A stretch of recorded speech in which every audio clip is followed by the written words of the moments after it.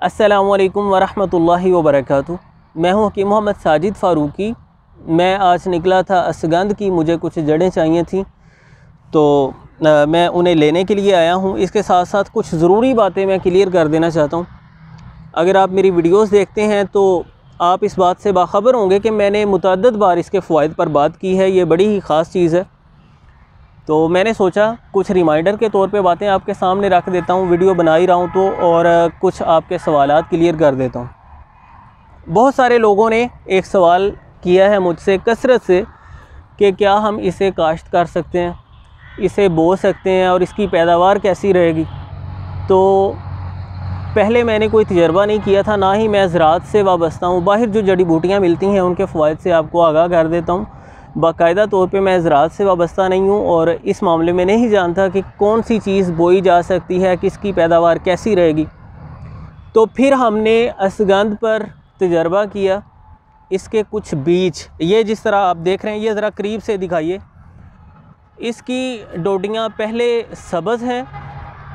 ये डोडियाँ जब पक जाती हैं तो इस तरह की जर्दी माइल रंगत हो जाती है इनकी।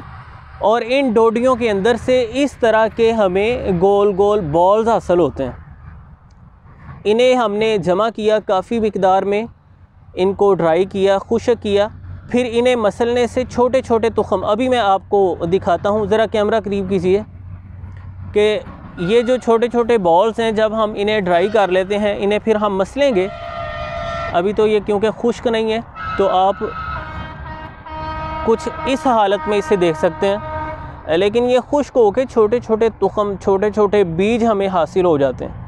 इन तुखमों को हम काश्त कर सकते हैं और इसे काश्त करने का बेहतरीन सीज़न है मिड अगस्त से मिड अक्टूबर तक।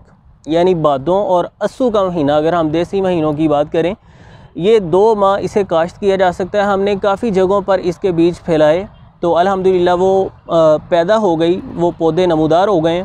तो मुझे बहुत खुशी हुई है, मैं आपके साथ शेयर करना चाहता था कि अगर आप इसे बीजना चाहते हैं, आपके पास जगह है जायद और आप इससे इस्तेफ़ादा करना चाहते हैं तो आप बाकायदा इसकी काश्त भी कर सकते हैं, इसे बो भी सकते हैं। तो इसके फ़वाद पर हम बारहा बात कर चुके हैं। इसके फ़वाद पर जो वीडियोस मैंने बनाई हैं, उनके लिंक मैं डिस्क्रिप्शन में डाल देता हूँ, अगर आपने वो नहीं देखी तो वो आप देख सकते हैं। खैर, इस वीडियो को भी मज़ीद मुफीद बनाने के लिए मैं चंद फ़वाद आपके सामने रख देता हूँ कि असगंद नागौरी या अक्सिन, और जो अश्वगंधा के भी नाम से मरूफ़ है। बहुत से सेहत से मतलब पेचीदा मसाइल का इंतहाई शानदार इलाज। है आप इसे, इसकी जड़ों को ख़ास तौर पे इस्तेमाल किया जाता है। ड्राई करके पाउडर बना सकते हैं, और वो पाउडर सुबह शाम छोटा आधा चम्मच खाया जा सकता है। इसका ताज़ा जड़ों का कहवा बना के इस्तेमाल किया जा सकता है। इसके कहवे के फ़वाद पर मैं बात कर चुका हूँ और उसका तरीक़ाकार भी आपको सिखा चुका हूँ। ये स्ट्रेस को अनजाइटी को दूर करती है। जहनी तौर पे इंसान फ़्रेश तरोताज़ा हो जाता है याददाश्त को बेहतर बनाती है। मेमोरी इससे बहुत इम्प्रूव हो जाती है। ये जोड़ों के दर्दों को ख़त्म करने में मिसाली किरदार अदा करती है, जिसमानी थकावट को ये दूर कर देती है। जहनी बेचैनी को ये दूर कर देती है। निज़ाम हज़म की बहुत असलाह कर देती है और कुछ स्टडीज़ ये बताती हैं कि मसल्स को स्ट्रेंथ देकर ये हाइट भी इंक्रीज़ करती है। खैर, इस मामले में मैं पूरी तरह से मतलब मुतमिन नहीं हूँ। कुछ स्टडीज़ ये कहती हैं कि ये हाइट इंक्रीज़ करती है और ये मसल्स को तो मज़बूत करती है, ये पक्की बात है। जिन लोगों का वज़न ज़्यादा है, वो इसका कहवा इस्तेमाल करें तो ये वेट रिड्यूस करने में भी इन मदद करेगी। बॉडी के जायद फ़ैट को ये बर्न करेगी, कमर की दर्द और जोड़ों के दर्द किसी भी नोयत क्यों असगंध नागौरी का इस्तेमाल मुफीद रहता है। आप इसका पाउडर दो से तीन ग्राम सुबह शाम खाने के बाद खा सकते हैं या इसके कैप्सूल फिल करके वो कैप्सूल आप इस्तेमाल कर सकते हैं या इसकी जड़ों का कहवा बना के आप इस्तेमाल कर सकते हैं। और मैं ये बता चुका हूँ कि ये इनफर्टिलिटी के केसेस में भी बहुत मुफीद साबित होती है। स्पर्म्स की मोटिलिटी को बेहतर करती है। सीमन की प्रोडक्शन को बेहतर करती है। टेस्टोस्टेरॉन हार्मोन के लेवल को ये बेहतर करती है, उसे बूस्टअप करती है। बॉडी में एनर्जी को ये बूस्ट करती है।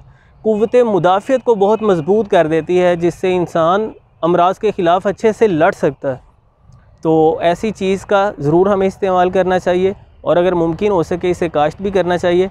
ये मुफीद वीडियो आप दूसरों के साथ भी ज़रूर शेयर कीजिए। चैनल पर अगर आप नए हैं या अभी तक आपने सब्सक्राइब नहीं किया तो ज़रूर सब्सक्राइब करें ताकि आइंदा आने वाली वीडियोस के भी आपको नोटिफिकेशंस मिलते रहें। बहुत शुक्रिया।